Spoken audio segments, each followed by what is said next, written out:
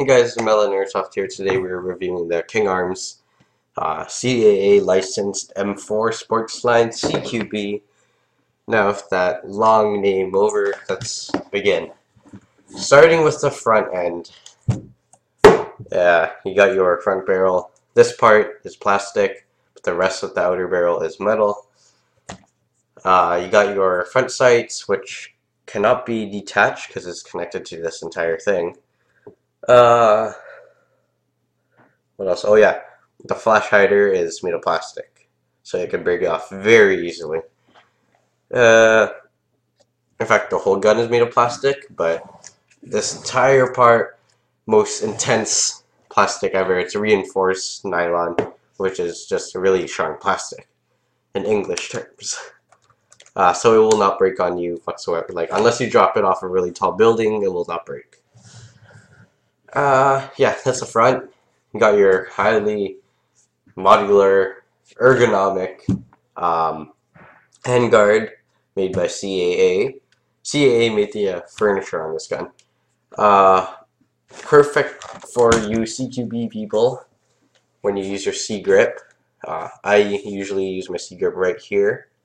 Some of you use it like right in the front, which I can understand, but I just put it right here. That's perfect for me because my fingers are wrapped around over here, which is the rail part. Each rail comes with a little curve on the sides here, so it's still comfortable, and but you still get that rail space. Um, these can be uh, swapped out for a longer rail or no rail at all. Same with the bottom. Uh, you got your plastic delta ring over here and your fake gas tube. Picatinny rails on top on the upper receiver. Also the same really strong plastic. Comes with these amazing strong plastic flip-up sights made by CAA. CAA makes amazing quality flip-up sights. Yeah, just how, how am I going to show you guys? Like, okay, there we go. Uh, there's three settings. There's little one, then there's small hole, then there's big hole, and they're all adjustable. Flip it, flip it down. Now if you open up the charging handle, opens up the fake bolt, which reveals the hop-up. Uh, CAA markings, because it is licensed, your magazine release over here, pushy switch, uh, metal trigger, incredibly ergonomic pistol grip, look at that. Classic CAA with the motor inside, which we'll cover later. Other side, non-functional bolt release, which is a shame, uh, and the fire selector. It is made of metal, this part. I have a bone to pick on this. Um, because I don't know if it's me or I just like, whenever I'm playing CQB, because I get trigger happy sometimes, I always flick it onto safety. Uh, so I don't shoot my own teammate or shoot someone who's walking out. I only flip it directly to semi if I see someone that I want to shoot. Now this has caused a few problems. First of all, it made it kind of loose, which means that let's say I'm running with it on semi, it will slowly become auto and by the time I see someone, I'll hold the trigger down and it'll have to explain to them why it happens. Uh, However, this has its advantages too. Because it's on safety, you want to quickly flip it semi so you can shoot them and go pew pew, right? Uh, some of them have really solid uh, fire selector switches, so you actually have to push down before you shoot. This is speedy, but it's kind of a random thing. Happens in a lot of these CAA guns, so just beware of that um, check it every so often. Yeah. Um, what else is there? Oh yeah, the buffer tube. This is plastic. This, well, I'm gonna say polymer because it's like this is the real strong plastic, right? This isn't like your average Walmart plastic. It's like at least ten times better than that.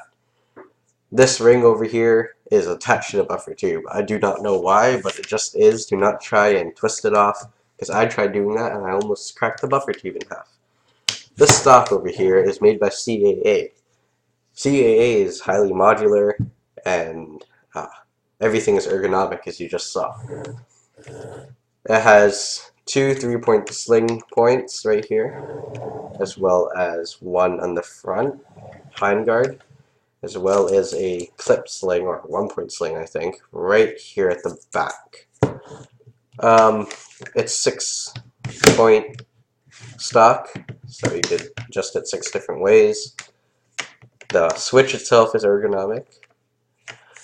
Um, over here, this is a door to house your airsoft batteries. Uh, so, if you're playing a Milsim game and you run out of batteries, you could take out your batteries and make your own on the field where you're getting shot at, which is very highly unlikely.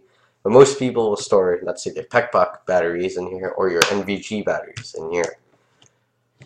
Um, and the other side of that is a set of Weaver rails. Uh, you could put anything you want over here, uh, like such as an infrared strobe kind of thing. So if you're playing at night, your buddies behind you, if they have NVGs, will know that you're in front of them and they will not shoot you. Uh, as well, you could put a PEQ box back here with a laser and a flashlight that just goes along the side of your gun. Uh, and that just saves some space on the front that you could be using for uh, your own strobe flashlight.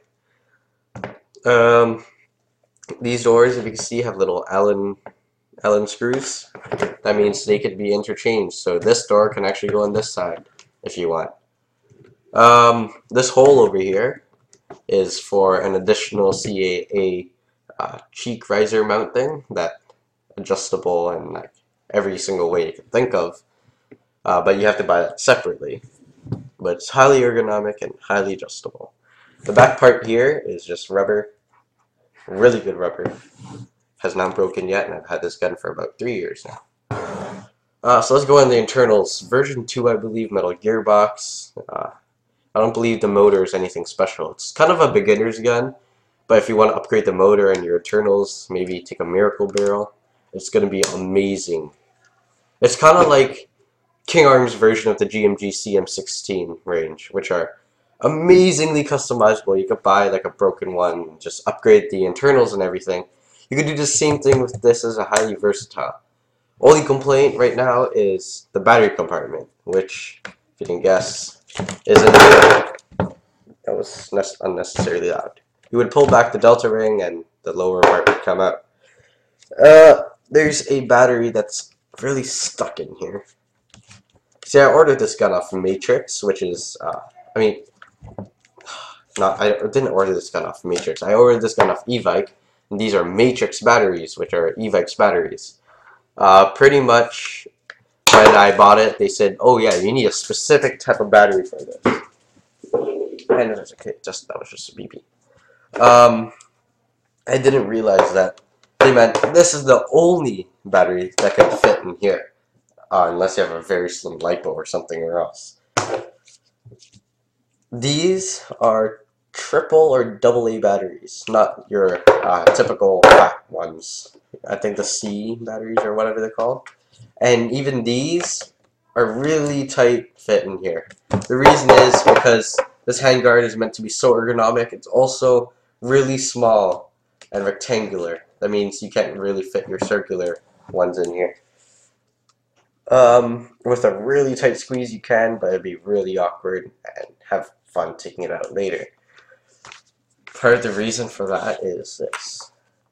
The outer barrel is rectangular. God knows why, but it just is. It's also, but it's full metal, so thank God for that. My solution, of course, because I am a genius. Uh, I'm just going to show you right here. There's a little notch here that I carved out with a uh, saw. Pretty much let's say you don't want these batteries, okay, let's say they died, you would take any uh, box of some sort, you could put a PEQ box, or for me, I use a sketchy way, I have an old M4 mag kind of thing. I put it over, I strap it on, there's a hole already inside it, so I would put the batteries upside down, the wires go through, right through that hole and plugs in. And that is my way of solving it. yeah, so this is the King Arm CAA M4 uh, Sportsline CQB. Thank you guys for watching. Rate, comment, subscribe.